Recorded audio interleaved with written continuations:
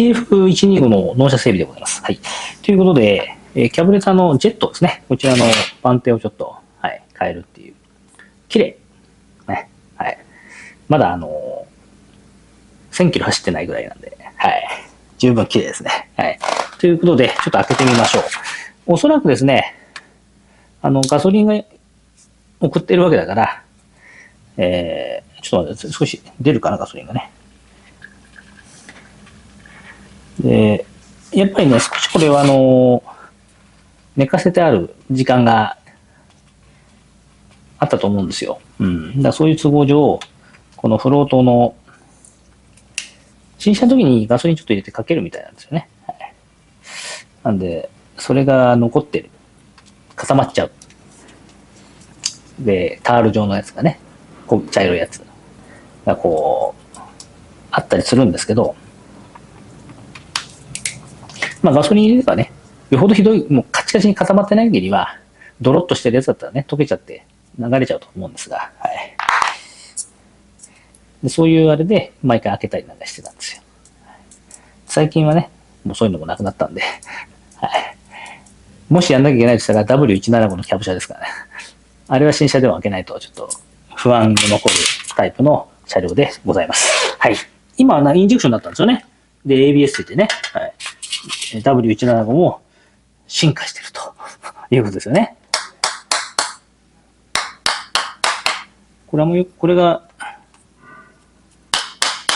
ちょっと待ってくださいね。ドライバーの絵が良くないね。いい絵と悪い絵があるの？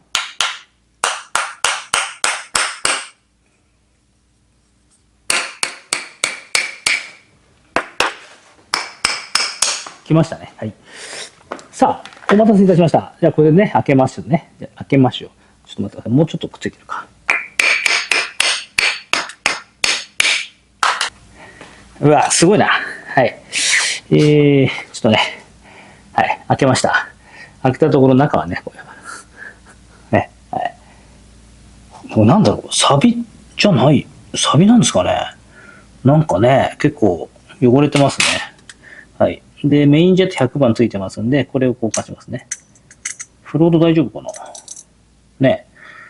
フロートは大丈夫。オーバーフローしてなかったから、とりあえず大丈夫だと思うんですけど。ね。で、これメインジェットは小さいのにね。はい、えー、ガスケットダメだね。普通に買えるかな？普通に買えなかったら、ちょっと厄介。厄介っていうか、あの、時間かかっちゃうんですよね。うん。他の、どうなんだろう？ちょっと、まあ、それを探してからですね、はい、やりたいと思います。はい。で、エアクリーナーエレメントは TS185 と同じですね。品番が一緒なので、はい。まあ、ただのウレタンのこういうね、四角いやつで、はい。これ普通に買えます、鈴木から。これはなんか、はい。出ますね。えー、今480。480。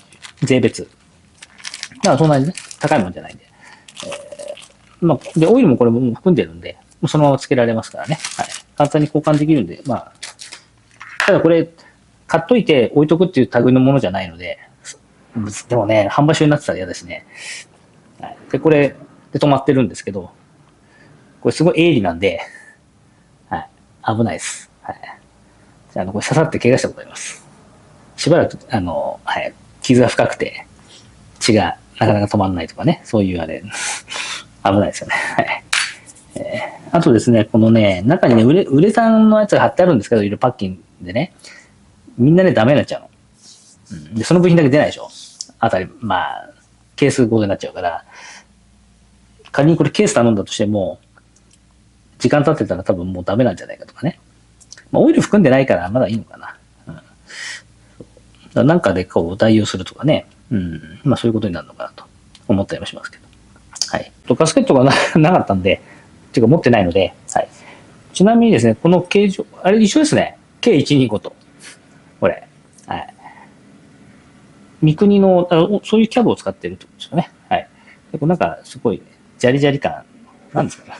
あれが溶けてるだけだったらね、あのー、ガソリンのね、うん、あのー、最初に入ってたやつね、はい。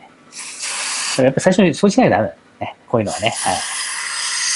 もしくは、多少の、錆びないと思うんですよね、タンクね。中見てもピカピカだしね。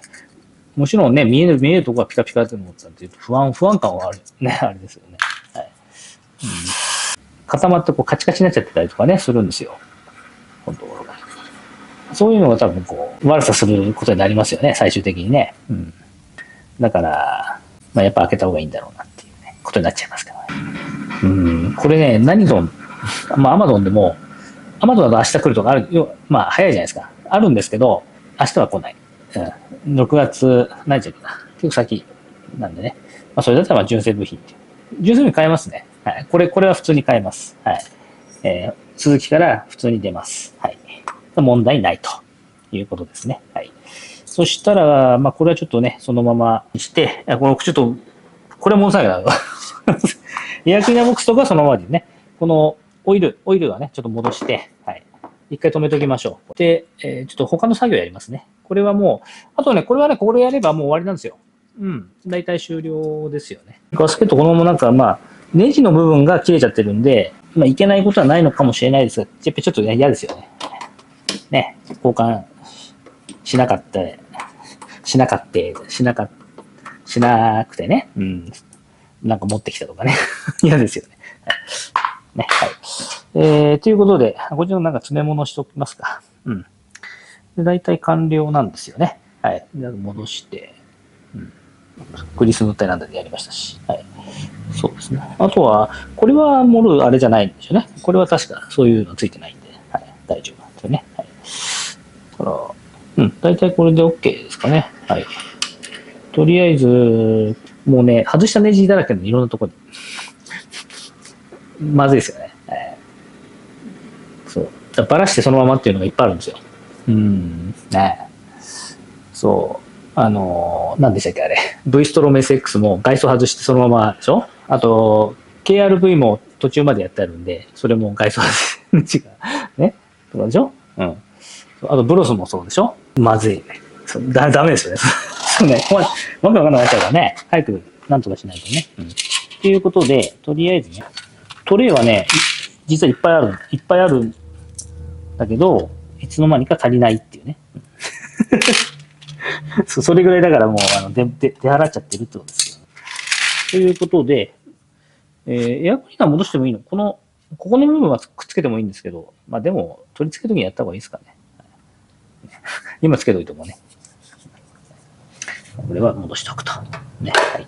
えー、あちなみにですね、TF125 のエアクリーナーボックスこれなんですけど、こんなちっちゃいところからしか吸ってない。かなりね、吸入制限してんじゃないですか。そんな気がしますよね。だから、しかもね、これね、二重に分かれてるんですけど、こう手前とこうやってね。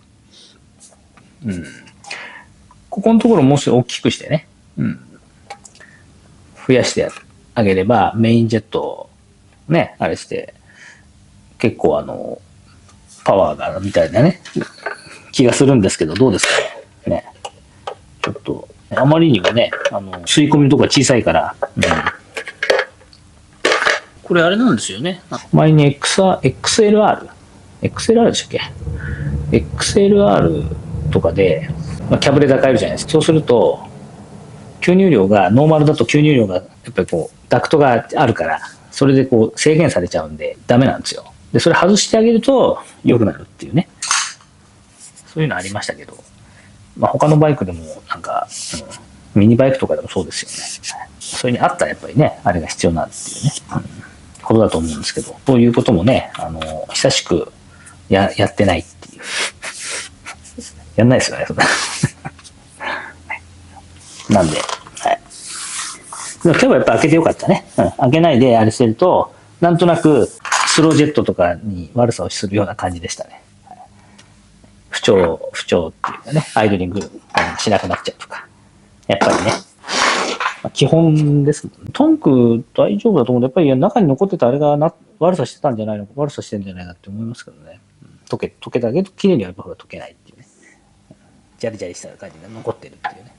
えー、そしたら、そうですね。とりあえずこれは、はい、一旦終わりにしてですね。そして、えー、次の車両をちょっと、はい。やれるやつをどんどんやって